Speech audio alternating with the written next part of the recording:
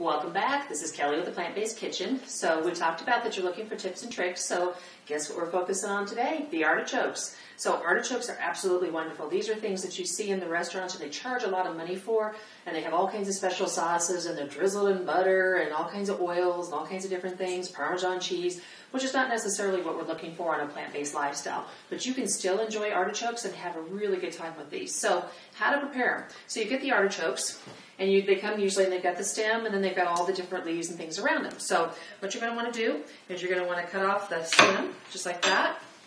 Makes it nice and neat and easy like that. Then you're going to cut off the top one third of the artichoke. Put a lot of pressure into it. Okay, just throw that in there.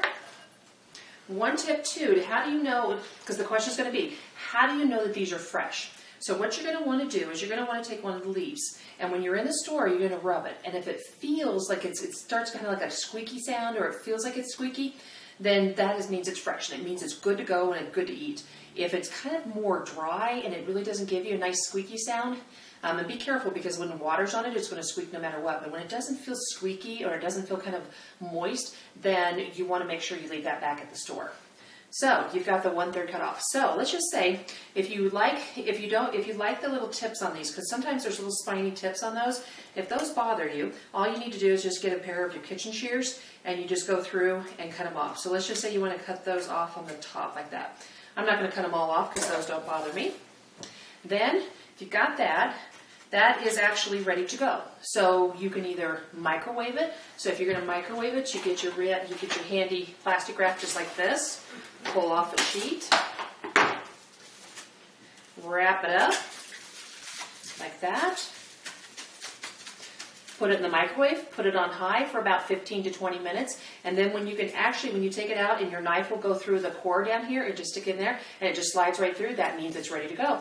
Pull it out, dip it in lemon juice, dip it in some like some baby mayonnaise, some lemon juice, maybe um, add some other kind of spices, whatever you want to do, you can do that. So that's how you can quickly do an artichoke, especially when it's you know wintertime and you just want something really quick. And these are fun too because they take quite a bit, quite a while to eat. So it's one of those things too. If you're if you're hungry but you're also have kind of the munchies, these are a great thing to have around. So if you don't want to use the microwave, and I know that there's some that, that don't like to use the microwave at all, then you can also use the pressure cooker. Or you can use a steamer, whatever you'd like to do. So you get your steaming basket, you put in about an inch of water in the bottom, not enough where it covers the steaming basket, but just enough on the bottom, because when you do any type of steaming in a pressure cooker, you always want to make sure you have some water. So you just put this in there, spread it out. It sets really, it's really nice. This is nice because it has these little uh, feet on them, so this just sets really nicely there. And then you're going to put it with the, with basically the top or the head up and the core on the bottom. You're going to put it into your basket and then you're going to put it on um, high pressure for about 10 minutes, and then you're going to have these wonderful artichokes. So seven minutes for small artichokes, and then 10 minutes for large artichokes. The good thing is, is if I put this in the basket right now, you can see it, um, I could probably get four, maybe four large ones, or maybe six small ones. So if you wanted to keep them around a little bit, you could always just repop them back into the microwave, even though you've maybe only eaten two of them, and then just warm them up, and then you've got them again. Make lots of extra sauce ahead of time. So let's say you want to stuff them. So what you're going to want to do is you're going to pull the leaves. So the leaves are almost, you just kind of just start stretching them like this. Get them all stretched out. And what you're going to want to do, and it's a lot of stretching, is you've got this little, the spine, what they call is like the spiny core in the middle of it. So you're going to grab that.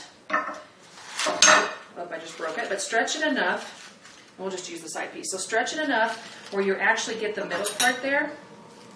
And then you're going to take your spoon and you're doing this, and you're going to scrape out that middle. So what you end up getting, pull a little bit of this out for you. This is probably a better piece to show. So what you're going to see in the middle is you've got these little, it's almost like a soft, I don't know, kind of like a, um, like little, little hairs and stuff. So you're going to want to make sure that you get your spoon in there when you got it, and you just basically just kind of dig it out a little bit. And the reason why you do that is because otherwise, if you put if you put all kinds of different stuffing in it, the little spiny, um, little or little uh, kind of like little hair pieces and stuff will get in there. So you want it as clean as possible.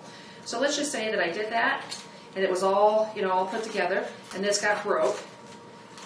what you can do is just basically put it all back together, leave your inner core like that. Artichoke is very forgiving. And then you can stuff it. So you can put like quinoa, all kinds of different stuffing, brown rice, all kinds of really good things in there. Put it in your steamer, put it in your microwave, and you're ready to go. So I hope you enjoyed this tip. We'll talk to you soon and see you at the next, next tip and trick. Have a great day. Thanks. Bye bye.